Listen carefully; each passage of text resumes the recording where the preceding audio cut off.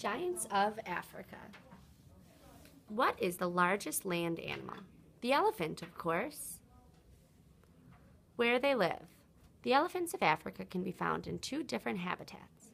Some live in thick, leafy rainforests. Other African elephants can also be found on savannas. These are flat plains where grasses grow. Trunks. One prominent characteristic of elephants is their trunks. Elephants use their trunks to drink and spray water.